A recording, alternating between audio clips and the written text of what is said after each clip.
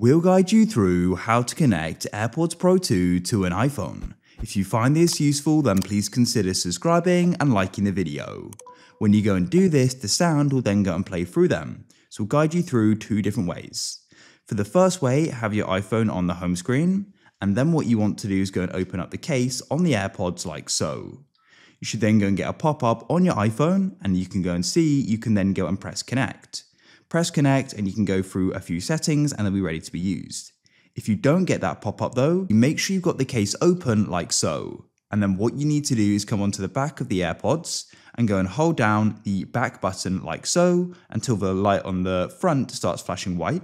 As you can see, and then on the iPhone, open up the settings, go down to Bluetooth, and you want to go and look in other devices. Shortly, they should go and pop up there, as you can see, and then you can tap there and connect. We've successfully connected. You can go through the setup process, and that's it, we can use them.